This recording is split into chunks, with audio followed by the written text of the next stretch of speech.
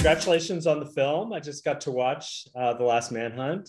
You know, it's based on a real story. So why don't you uh, start by just giving um, viewers a little bit of a, a, taste of what the story is and how your character fits in? So, The Last Manhunt is a story about uh, the Chemehuevi Indians who are based in what is now um, kind of like the Joshua Tree area border state line of California. Uh, and in early 1900s, a girl named Carlotta um, falls in love with a boy named Willie Boy, and they are forbidden in their relationship by her father, who was the chief of the Chemehuevi at the time. And um, through their forbidden love comes a, a challenge. And so they have to make the decision to stay together against the wishes of their family or um, separate and uh, be apart forever. And so that's kind of where what sets the precedent for the whole film. Mm. Um, now it looked like it was a pretty interesting production. Talk about uh, maybe a scene that for you was your favorite to film. My favorite to film. Wow. I, well, majority of my, I would say my favorite scene to film on this was uh, actually the scene where Carlotta is sneaking out of her tent and and trying to meet up with Willie Boy because I got to do that scene with Lily Gladstone as my mother and Zahn McClarnon as my father.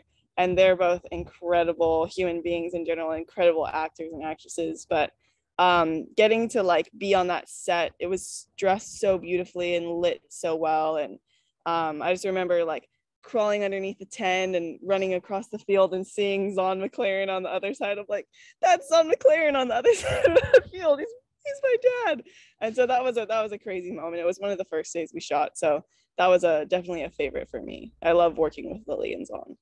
Yeah. So talk a little bit about get. I mean, I, I know you're a surfer professionally, um, and your uncle uh, Jason Momoa was wrote the the or came up with the idea the story for the um, for the movie. Talk a little bit about uh, how you he connected you with this project. Right. So um, so I previously long story. So Jason has mentored me uh, in acting since I was about 19. And Jason's done a lot to, as far as efforts to try to bring up the Indigenous community with young actors, young filmmakers. So at the time, I was one of the um, people that he was training, kind of like a protege. And so at the time, I was on the television series for Apple called See, um, that he was on the lead of. And uh, while, when See was over, you know, his next thing he was going to move on to was the last manhunt. And so he thought that, and Thomas Pa'a Sibbett, the writer, also thought that, you know, my disposition and the way I was suited the character. And they have been, you know, friends with all of the cast, all of the crew. It's kind of all these like beautiful people that they've picked up along the way as filmmakers and artists in their careers. So it's kind of like this culmination of bringing together this massive family of people um, into this production. And I think that you can see everything's really cohesive in that way because it really was just a bunch of friends having fun and making art in the desert. Yeah, yeah, you get that sense. Did your uncle give you any acting advice about how to approach uh, this role? He did. He, I mean, he gives me advice in life on every aspect. Um, Jason, Jason is, uh, he's like my uncle. He's like my brother but he gave me i mean he really in a way he led me through this film but he also gave me a lot of leeway to figure everything out for myself um and i also had like the guidance and a lot of advice from the rest of the cast. Um i mean they're all phenomenal actors as well. But um his kind of main advice was just to not to push just kind of let everything flow and like finding you know those moments in sincerity. I think that's kind of something that he really strives for in his filmmaking and his acting as well.